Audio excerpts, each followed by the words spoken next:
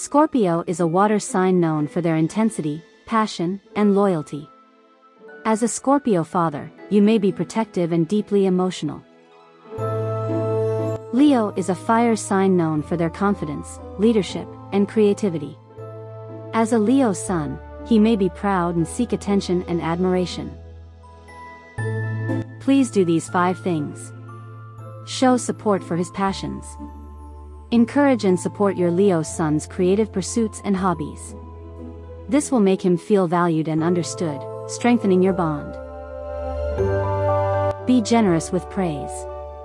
Leo craves admiration and praise.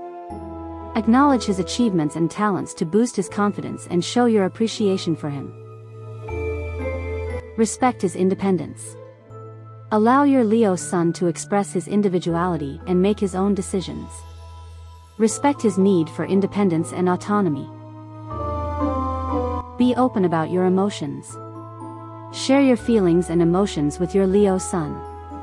This will help him understand your depth and intensity, strengthening your emotional connection. Encourage leadership opportunities. Support your Leo son in taking on leadership roles and responsibilities.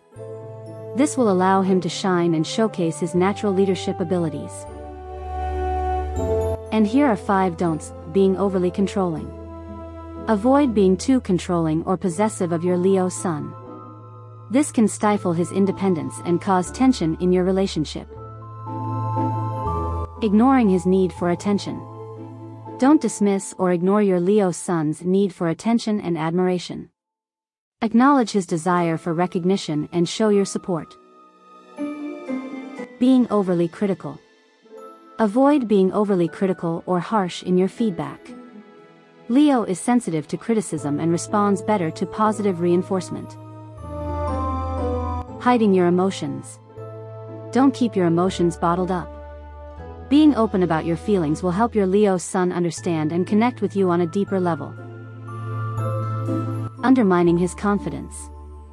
Avoid undermining your Leo son's confidence or belittling his achievements. Show your pride in his accomplishments and talents. Feel free to leave a message if you want to know more about this. Thanks for watching.